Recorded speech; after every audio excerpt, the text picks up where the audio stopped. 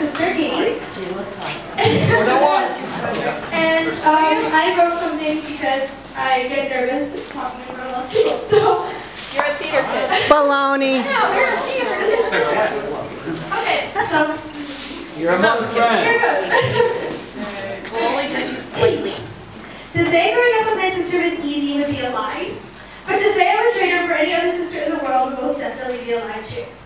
I'd like to tell you all two things that sum up what it's like to be Sarah Steinbacher, well, now Balla's sister. the first one is a story. Let's take you all back to when I was about four years old and my sister was about eight. He was playing with one of her bouncy balls in her and her sister's joint bedroom when suddenly the bouncy ball bounced behind the dresser. Cute little Katie thought it would be a good idea to get the ball herself. So she figured she would slide the dresser out, grab the bouncy ball, put the dresser back, no harm, no foul. Boy, was she wrong. you see, on top of the dresser was eight-year-old Sarah's favorite ceramic horse head.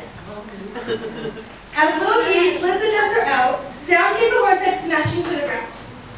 Fifteen years later, and I am still not forgiven for that. The next thing I'm going to tell you is the reason why my sister rocks.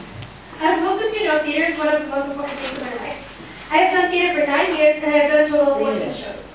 And my sister has not missed a single one. She has been at every performance of mine, from me being a fairy with two lines to me being the lead character. That's really what of sister my sister is. She sits through everything from Shakespeare to modern musicals. She always encourages me as one of my biggest fans. So it's cool today that I get to be one of her biggest fans too. My sister, though tough on the outside, is a kind-hearted, intelligent, loving human being, and I'm proud to call her my sister. Now this brings me to Alex. When I first met Alex, I wasn't really sure what made him and my sister fall in love.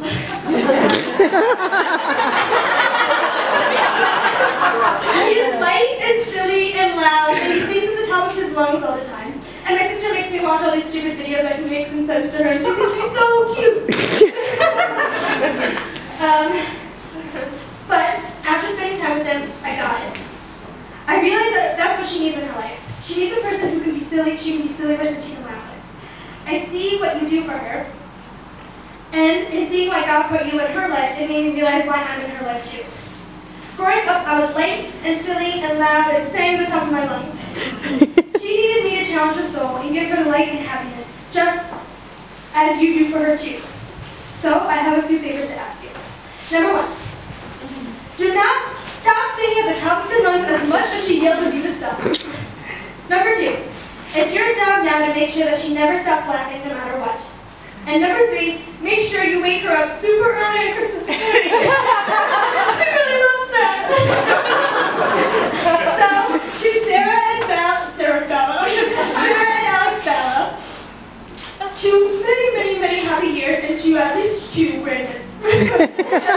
Thank you.